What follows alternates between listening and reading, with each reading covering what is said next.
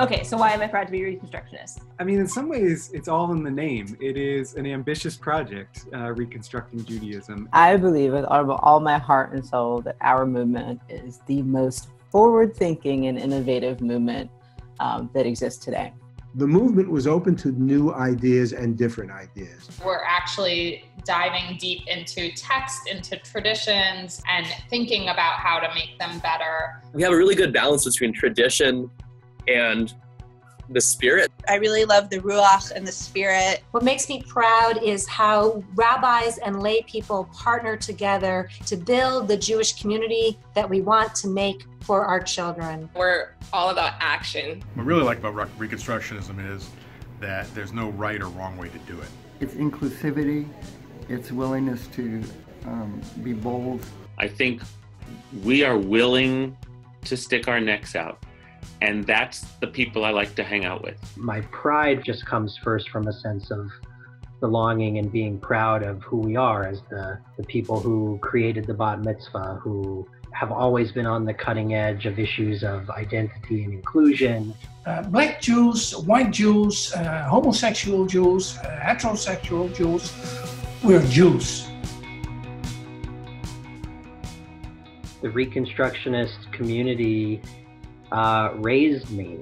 You know, in my life, school teaches me how to do stuff, but then Camp Havaya teaches me how to be a person. It's definitely a community. It's a fun place to be. They're my family. You know, I'm not sure that I would be living a life that was in any way identifiably Jewish had I not found Bet Am Shalom. You know, I walked into Congregation Beit Havarim as a non-Jew, and I left Beit Havarim you know, on my way to rabbinical school. Our members come from all over the country. Uh, some have to travel uh, more than two hours to come to a service. There's so much focus on social justice, and at the same time, there's so much focus on soul. And like you could walk into services having never gone to services before and you can feel that community. Um, when I first started coming, I wasn't a member for sure.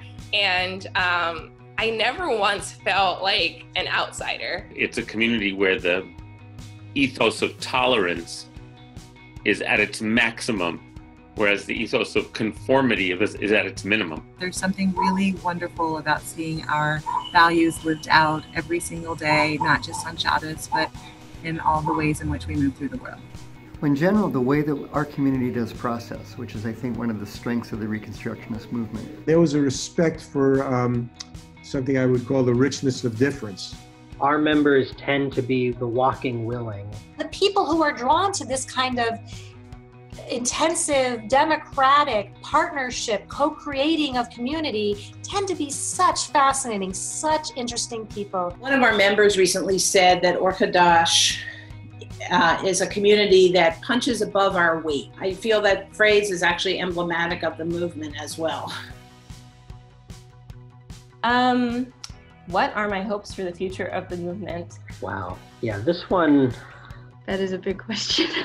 my hopes for the future of the movement is that we get the recognition for the way that we have been the pioneers and the cutting edge of the Jewish community for these last 90 years, and that we generate adequate support for us to continue to do the groundbreaking and brave work that we do.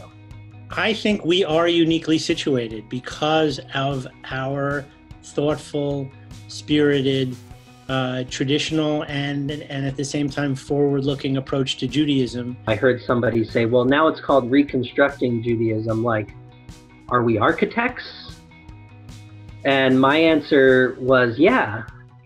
Figuring out a way to um, bring the disaffected younger generations of Jews into mm. formal movement? As a young adult, I actually hope that um, we continue to target and welcome uh, people of all ages. Well, I hope it becomes more common to see Reconstructionist groups on college campuses. I hope we innovate. I hope we uh, get to um, see greater growth in our movement. A lot of ability to um, grow. I want us to grow. I hope that we grow. I mean, I do think that we have a lot to offer. I think that Reconstructing Judaism has an opportunity to really be able to talk to people about what's missing in their lives. there are things about Reconstructionism that are really, really meaningful and can be very meaningful to people across the spectrum of Judaism.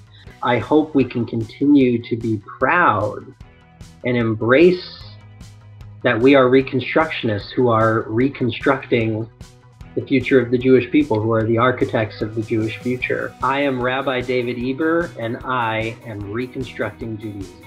I'm Rabbi Deborah Waxman, and I am reconstructing Judaism. I am Seth Rosen, and I am reconstructing Judaism. I'm Rabbi Emily Cohen. I'm Rabbi Nathan Kamesar. I'm Carly Kleinstern. My name is Rabbi Georgette Kennebrae, and I am reconstructing Judaism. My name is Rabbi Jonathan Kligler, and I am reconstructing Judaism. I am Rabbi Sandra Lawson, and I am reconstructing Judaism. We're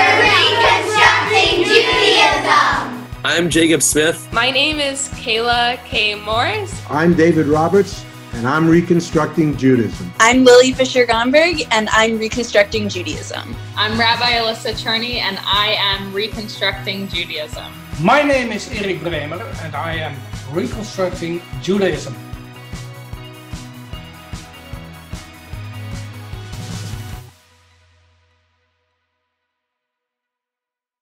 I think that's what I want to say. Reconstructionism is it's great. Glad to be part of it. Let's get some more people involved.